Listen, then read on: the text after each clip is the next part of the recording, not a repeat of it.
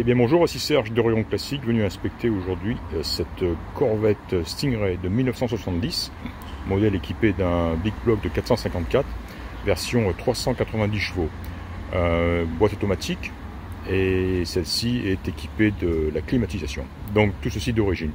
Voilà, une voiture qui est euh, essentiellement d'origine, puisqu'elle n'aurait été repeinte qu'une fois, et cela il y a plus d'une vingtaine d'années, puisque c'est le nombre d'années que le dernier propriétaire l'a possédé, et cette peinture avait été faite avant qu'il euh, achète la voiture.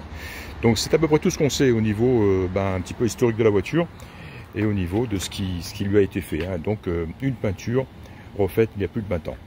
Le reste, est d'origine, et semble d'origine, dans un, dans, un, très bon état malgré tout. La carrosserie, la peinture est bien bien est restée en très très bon état. Ce blanc est très joli. Et euh, je n'ai pas noté de défaut. Voilà, si ce n'est ici, et encore, euh, que je n'avais pas vu auparavant, mais euh, exposé au soleil comme elle est, quoi. voilà, un petit défaut ici de, préparation, on va dire. Et j'ai noté un petit éclat qui a été retouché aussi, ici.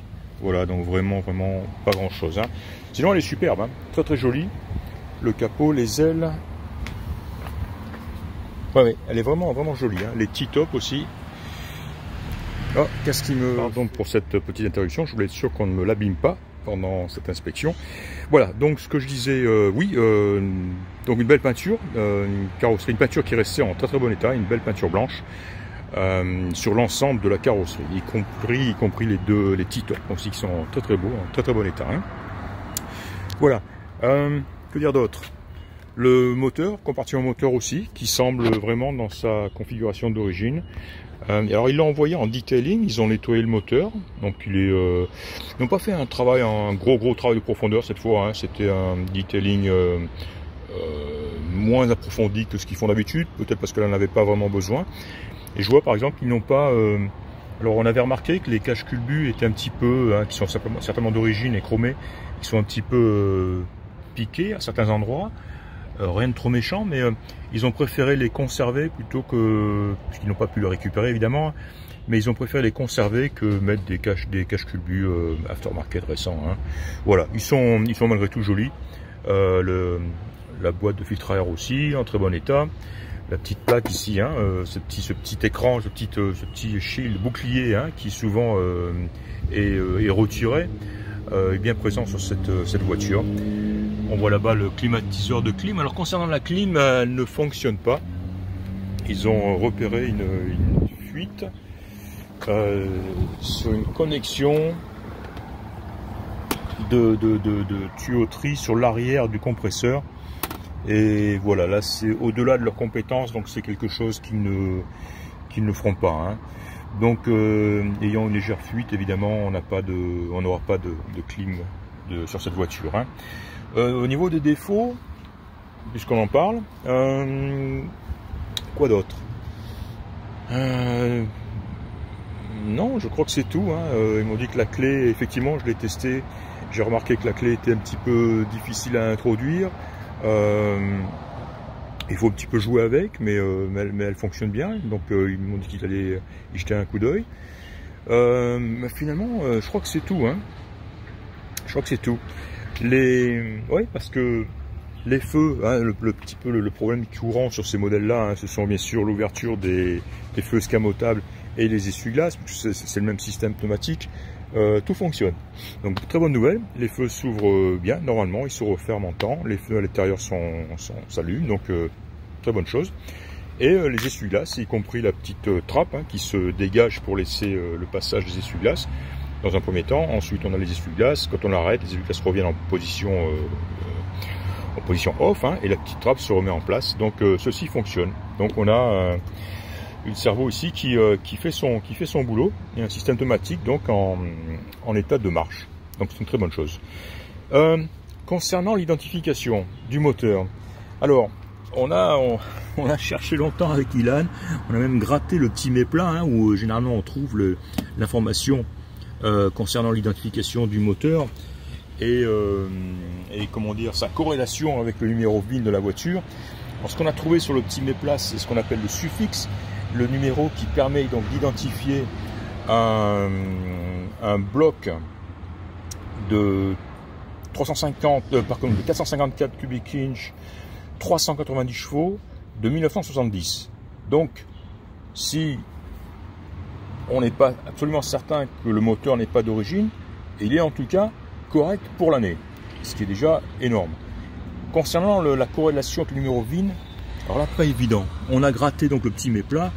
On a, j'en ai pris des photos qui sont difficiles, c'est très difficile à prendre des photos là. On a vu quelques caractères qui, euh, qui, dans le numéro VIN, mais euh, on ne peut pas dire qu'on aura trouvé la série complète donc qui, qui match, qui correspond au numéro VIN. Hein. Euh, donc, on ne peut pas vraiment euh, certifier à 100% que c'est ce moteur d'origine, mais honnêtement, correct, le, moteur correct pour l'année,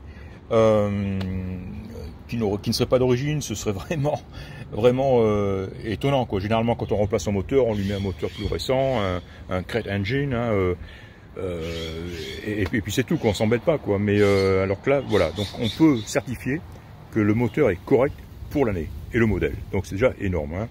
Bonne chance que ce soit le moteur d'origine, mais encore une fois, euh, je ne m'engagerai pas à 100% là-dessus. Voilà.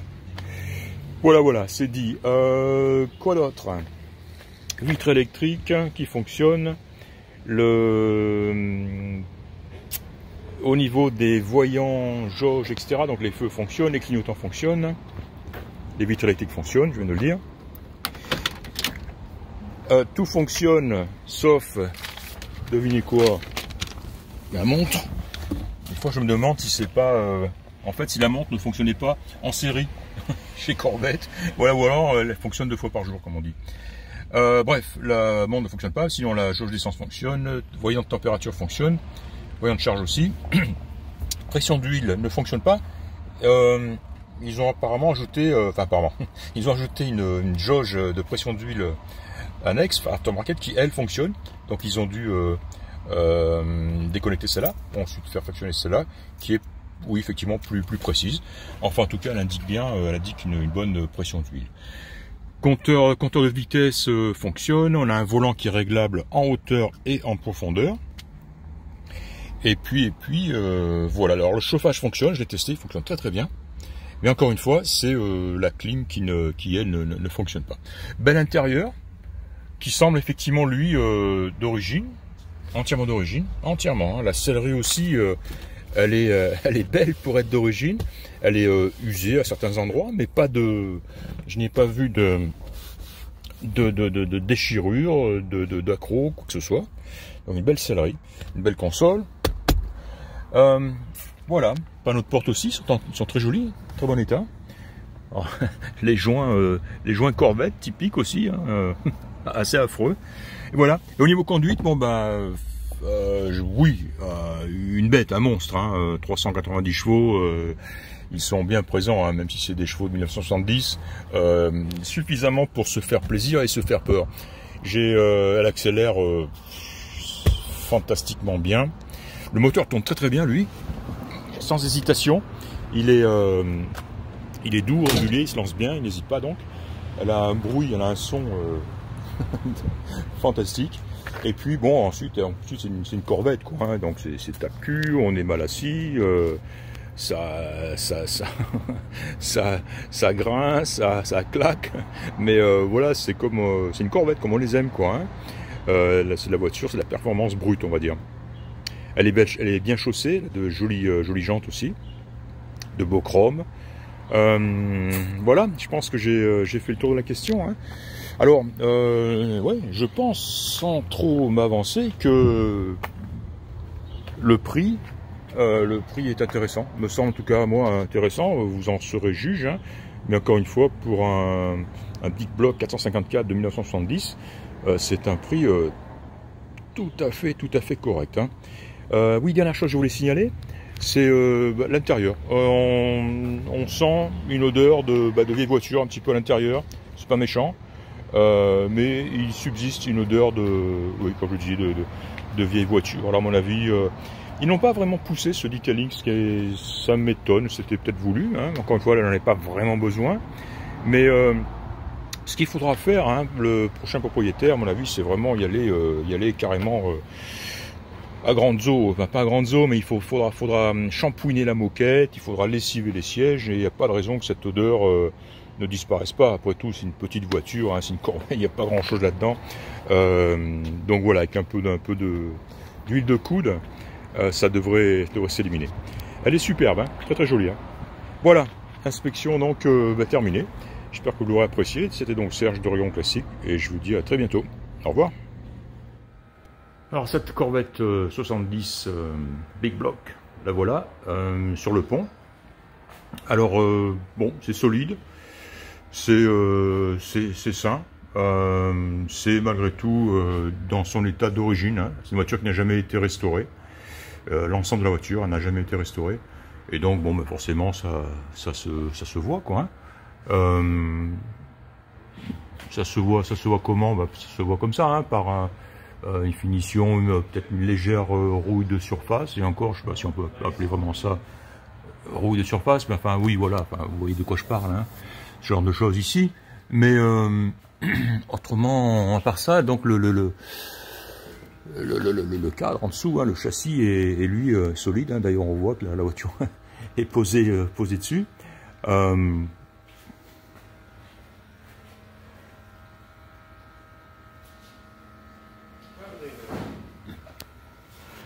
Des, lignes de, de frein qui ont été euh, remplacées récemment. Mais tout le reste, encore une fois, semble d'origine. Alors il y a cette espèce de blackson, alors je sais pas si c'est d'origine ou ça a été fait, il est un petit peu brillant, donc on a l'impression des fois que c'est euh, huileux, que c'est gras, mais non, hein, c'est sec, hein, c'est juste, un, comme je le disais, une espèce de, de blackson euh, un peu brillant. donc là on a le bac à batterie derrière, pareil, hein, c'est pas huileux, c'est pas gras quoi, hein, ça coule pas, c'est un peu bruyant à certains, endroits. Avec sa masse ici, donc là on a le, deuxième petit compartiment de rangement, le petit coffre derrière.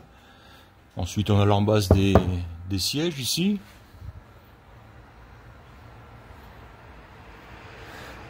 Voilà, et le reste, bon, toujours pareil, hein, le, châssis, solide, voilà, jusqu'ici, jusqu'à l'avant là-bas. Flexible de frein, remplacé aussi.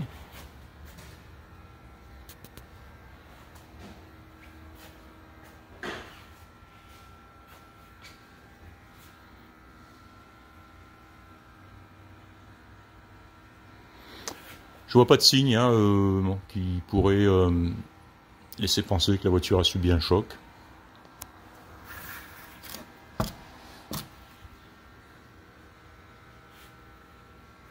Je la découvre hein, avec vous. Donc voilà, les étriers de frein qui sont un petit peu, corrodés en extérieur aussi. Hein.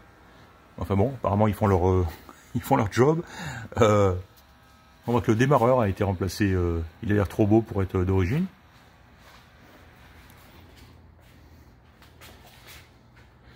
On voit les gros pneus qui ont, qui ont l'air de venir frotter un petit peu là.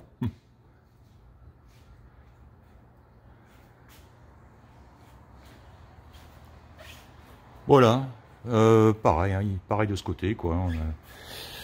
pareil que le côté, le côté gauche. Euh, voilà. Sinon, euh, bon, elle est revenue de detailing. Hein. La carrosserie est très très jolie. L'intérieur aussi, propre. Et, et Ilan m'a dit que elle était fabuleuse à conduire. Elle était encore plus rapide que la Chevelle 396 SS que j'ai conduite la semaine dernière. Donc quand euh, Ilan de chez Memory Lane me dit euh, That car is freaking fast, euh, généralement ça, ça veut dire quelque chose.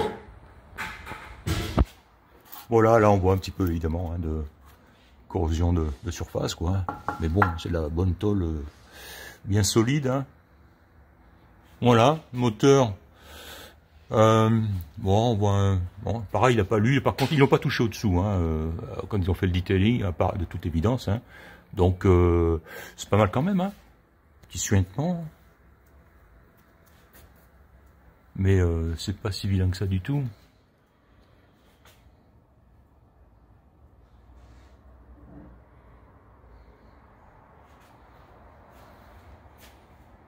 Voilà. Bien, bien, bien. Ben, on va la descendre et puis je vais continuer mon, mon inspection euh, du reste de la voiture. La gueule, hein